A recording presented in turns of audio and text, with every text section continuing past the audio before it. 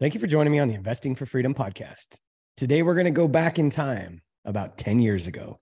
Uh, this is an exercise that we did uh, recently at the Next Level Couple event that we had at our house here in Austin, Texas. This is the first time that we've done this event.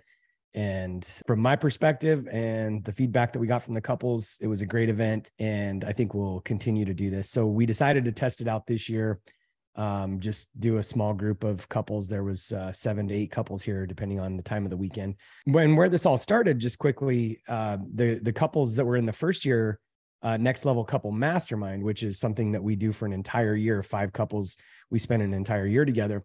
When the year was up, some of the couples were like, "What are we going to do next?" And you know, started talking about having a reunion, and and so we agreed to try to figure that out.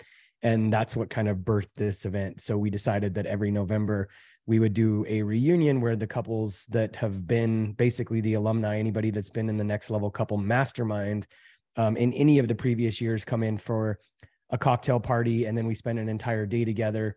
Um, this next year, we'll be doing some legacy and wealth planning. And then that eve- the the evening uh, following, then all the new couples will come in and we'll spend all day um, Saturday together, and and then part of the day Sunday so anyway that was uh, what started this this uh, whole event and this next year we'll be doing it november 3rd 4th and 5th of 2023 in austin texas. So if you're interested in that you can text the word uh, event to 480-531-7519 and we can uh, get you on the list. And as soon as we send out that information um, you can join us in austin texas. It was a great event. But anyway part of that event um, we did an exercise and you know I, I might have even mentioned this on the podcast before. This is something that I think about often and kind of consider regularly too. And here's the question that I want to ask you. If you go back 10 years, so currently I'm recording right now, it's November 13th, 2022. So if you go back to 2012, and if you're driving listening to this, you can go ahead and listen to it or um, you know, come back to it. And I would encourage you to just do this exercise. I'm going to keep this one short today. It'll probably be five to seven minutes. Um, so go back 10 years ago so to 2012 and just think about your life. Where were you at in 2012 where were you working? Um, how much money were you making? Where were you living? What house were you in? What city were you in? How old were your children? If you had children were you married? Maybe you weren't even married yet. Um, what did your life look like? And so again you know what, what was your job? What was your career? What did your business look like if you were already in business what did your investment portfolio look like in 2012? And then you fast forward to today, and here's the question that I pose Is your life better today than you could have imagined or what you were striving for in 2012? Is it better or is it worse? And you know, there is some people that are probably saying, you know, my life is worse because, you know, you've gone through some tragedy or, you know, maybe you're going through a divorce or or whatever it is that you're currently going through. Um, but the majority of people that I talk to say that their life is drastically better than what they could have imagined in 2012, 10 years forward. Drastically better than what they could have imagined, and definitely better than it was 10 years ago. And so I pose the question, and it makes me think about a scripture that says, Our God is able to do exceedingly abundantly above all you could ask, think, or imagine. So it's so powerful because if people and the universe and God Himself or herself, uh, whatever God is, if it will align around us, and again, you hear me say this so many times, but the more you give, the more you're going to receive. Zig Ziglar's quote You can have everything you want in life if you just help enough other people get what they want. So when you go back 10 years and you think about that, the thing I want to challenge you with today, if that is true, and we're more intentional about it in the next 10 years or even five years or even three years. Cameron herold has a great book called vivid vision. Um, matt king uh, who's the ceo of gobundance and also runs a family office for um, david osborn came in and spoke to the couples on a sunday and this was a big part of the conversation too. Um, you know what what does legacy and wealth planning and and all of that look like and really you know in his theme we had done this exercise um, the day before and the theme that he constantly kind of revolved around too was really just setting your intentions setting your vision getting really clear on what you want and by the way what do you really want? Why do you want it? What are you going to do to get it? Measure results, adjust. The thing about it is when you start writing out a three year vision or a five year vision or a 10 year vision, even, it's your vision. You're the one that gets to decide if you decide to adjust. And I think so many people get uh, bottled up because once they put that vision and that pen to paper, they're scared. Well, what if it doesn't come to pass? And how is this going to happen? And the thing that I would challenge you with, if you go back 10 years ago, there's no way that you could have mapped out everything good that was going to happen in your life. So sometimes we just have to step out in faith a little bit and dream and put a vision out there, not knowing exactly how it's going to happen, but knowing that if we start chasing a certain dream and desire and things we want, that the entire universe, God and people in the universe will align around us to make good things happen to us. And so going back to 10 years ago and then looking at your life today, is your life better or is it worse than you could have imagined? And if it's better than you could have imagined, then I really want to challenge you to maybe take some time. You know, it's it's uh, mid-November. We have 45 days ish until the year ends. We're all going to be doing a bunch of goal planning and setting our intentions for 2023.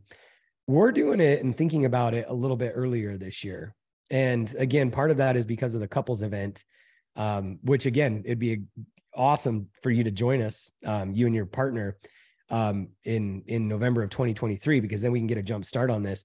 But you can do it on your own. So I would just challenge you to really maybe take some time over the next few weeks to just really start thinking about, you know, what do you want your life to look like in three years? What has to happen to make your life extraordinary, to make your life incredible? what things will need to happen by then what things do you want in your life where do you want to live who do you want to be married to what do you want your marriage to look like if you're already married how old are your kids going to be um, what are you going to be working on you know some of you are in w2 jobs and, and want to get out on your own and start your own businesses some of you are in businesses that you want to 10x some of you are in business or in w2 and want to increase your investment portfolio, get over onto the right side of the cash flow quadrant, if you will. What does that look like? And start specifically drawing that out, spelling that out, putting that to paper. And one of the things that Matt King said that I thought was so powerful one of his goals is to review his goals 150 times a year. So not every day, but 150 times a year. So basically three times a week, he reviews his goals. And I hear this over and over and over. It's a theme from successful people. Write your goals. And in Malachi, there's a scripture that says, Write the vision and make it plain that he who sees it may run with it. It's the same thing for our own eyes. And one of my favorite uh, mentors, people in the world, Dan Sullivan, always says, The eyes only see and the ears only hear what the brain is looking for. If we write down our goals, if we write down our one year, three year, five year, 10 year visions, the brain is going to be looking for that. So the eyes are going to see that. The ears are going to hear that. They're going to go out there and start working. You might be saying, Mike, what does that mean? There's opportunity everywhere.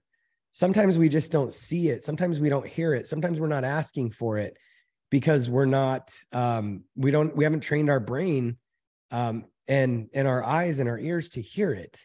So I promise you, if you just take a little bit of time and you get some clarity, around what you would like your life to look like in three years and five years, it's going to be much better than you could think or imagine. And again, the reason why I started out with going back to 10 years ago is because if you go backwards and you look at your life 10 years ago, is it better or is it worse than you could have, you know, imagined today? And I have to think that for the majority of you, again, barring some external, you know, situations, the majority of people, it's better.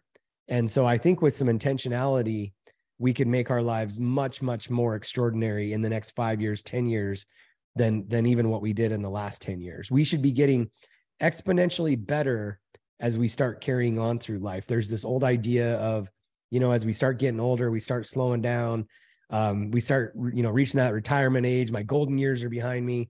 Not true.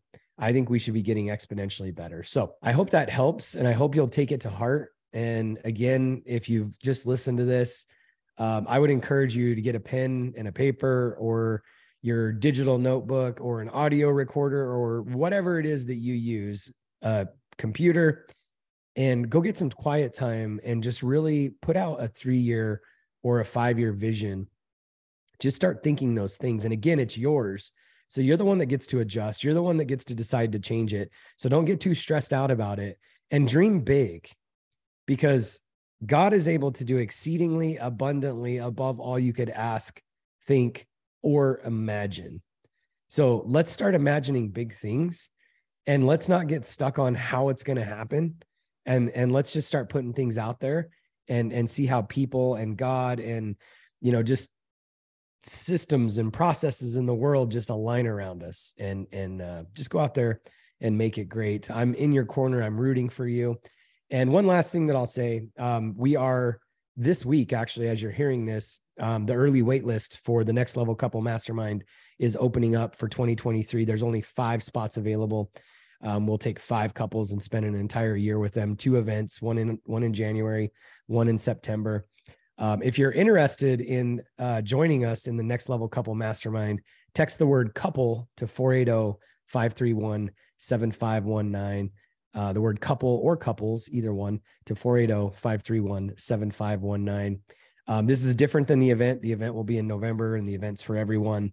Um, the mastermind is a pretty high ticket uh, item, but we do some epic trips. We spend a year together. We have awesome speakers come in at the events.